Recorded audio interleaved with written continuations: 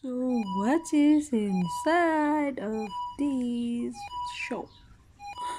Which one you like? Yeah, because get a coin.